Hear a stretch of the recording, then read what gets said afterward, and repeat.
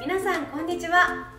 今回もルシル系アンバサダーのカホリンとともに時計のご紹介をしていきたいと思います。はい、よよろしくお願いします。ろしくお願いします。さあ今回はタグホイヤーのレディース時計をご紹介したいと思うのですがはい、カホリンが前回ですね、この然このデザインと言っていたものを。ははい、そうですね。これ一目惚れしました。いその時計はこちらです。はい、タグホイヤー彼らキャリバー9です。はい、とっても可愛いですね。はい今回ははい。そんなカホリンがお気に入りポイントですね。はい、ちょっと伺いながらこの彼らの魅力を紐解いていきたいと思います。はい、よろしくお願いします。はい。まず私がすごく気に入ったポイントが、私結構手首が人よりも細いところが、ね。カホリンの腕はとっても大きさなんです。そうなんです。なのでちょっとフェイスが小さい、えー時計をすごく探してたんですけどこのフェイスすごく。小さめなのでそこがまず1点とっても気に入りました。そしてはい他にはどんなところが？あと2つ目なんですけど、えー時計はさまざまな、えー使い方だったりとか用途があると思うんですけど私はすごくあのジュエリー的な形でこの時計をつけたいなと思いまして選べさせていただきました。はい。こちらの方をパッと見ると華やかだなって思うと思うのですが、まずはこちら時計のはい。フェイスをぐるっと取り巻いている。はい。こちらはダイヤモンドです。おおダイヤモンドだったんですね。はい。小さなダイヤモンドがぎっしりとぐるっと取り巻いていまして、うん。文字盤をご覧いただきますとはい。インデックス部分にもはい。ダイヤモンドが使われているんです、うんすっごく華やかですね。はい。こちらの12時部分にははい。2席もおお入っております。はい並んでて可愛いですね。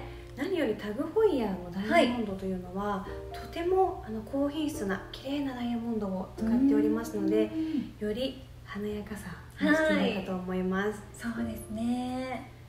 そしてこちらの文字盤部分ですね、はい、こちらにはマザー・オブ・パールうん、を使用しておりましてはいどうですか？これ見る角度によってはい。ちょっと色がそうですね。ね。はい。いろんな角度から見てもすごく綺麗な輝きをしているなって思いました。こちらもとても神秘的な輝きを放っているので、こちらのカレラの時計全体をより一層引き立ててくれているような、はい、はいそんな素敵なデザインですね。はいとっても素敵な時計だなと思いましたストラップ部分。ははい。比較的細身のタイプになりまして、はい。この表面とあとはヘアラインちょっとマットになった部分がありますので、うんそこが全体をぐっと引き締めてくれるような、はい、はい。ちょっと大人っぽいそうですね。す。すごくあのキュッとしたデザインだなと思いました。それでは時計の裏側もご覧いただきたいと思います。はいでしょうか。あ歯車がいっぱいあってかっこいいですね。はい。こちらは機械式時計となります。機械式時計。はい。はい。主に時計にはクォーツ式と機械式うん。というものがあるんですけれども、はい。まずクォーツというのは電池で動いている時計のあことです。あはいはい、そしてこちらのような機械式時計ははい。時計を着用した時にはい。腕の動きに合わせてはい。このムーブメントに内蔵されているローターがはい。回転してゼンマイが自動的に巻き上げられて動く仕組みのことですね。じゃあつけているだけでいいってことですね。はい。つけていくと、はい。どんどんどんどんこのパワーが蓄えられていく感じになります。こおのパワーリザーブ時間ははい。こちらのキャリバー9ですとはい。40時間。40時間。はい。なります。うーん。じゃあ結構持つんですね。そうですね。日常的にはい。普段例えばカホリンとかだと毎日時計とかつけれるよってことであれば、はい。比較的スムーズに毎日動いているような形となります。それはいいですね。はいどうですか？機械式時計ってはい。ちょっとこう男性的なイメージがなんとなくあるものかと思われがちなんですけれども、はい、そうですね。よくあの男性の時計のこう裏側で価値が分かるみたいな感じでこう見たことあるんですけど、はい。なんか女性ので見たの初めてだったのでなんかすごくかっこいいなって思いました。はい。はい。女性でもやはり、まあ、時計好きっていう方もいらっしゃると思いますが、はい。ちょっとこんな時計をはいつけて、あのただ思ってなりますよね。そうですね。なんかちょっと自分がレベルアップした気持ちになれるかもしれないですね、ぜひあの近々誕生日が来るのでちょっと自分の誕生日ぐらいにはちょっと買いたいなって思いますので本当ですか？はい、もう本当に欲しくて、はい、たまらないので、あのぜひ買ってくれる男性がいたら嬉しいなって思います。嘘です、自分で買います。